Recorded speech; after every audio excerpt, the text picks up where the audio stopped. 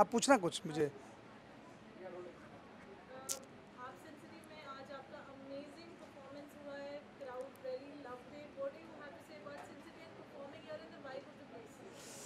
है जैसा इन सबको लगा वैसा मुझे भी बहुत मज़ा आया। जब आर्टिस्ट गाता है और सामने से रिस्पॉन्स अच्छा मिलता है तो उसकी एनर्जी डबल हो जाती है।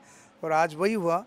और I really love the audience और उनका जो कान से ना, सारे सुनने वाले लोग थे और एंजॉय करने वाले थे और बहुत ही मज़ा आया।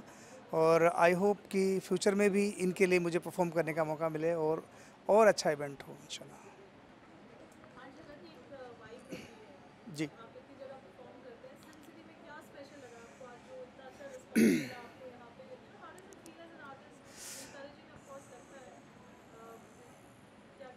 अंधेरी एक ऐसी जगह है जहाँ पर आर्टिस्ट लोगों को एक खुलापन चाहिए।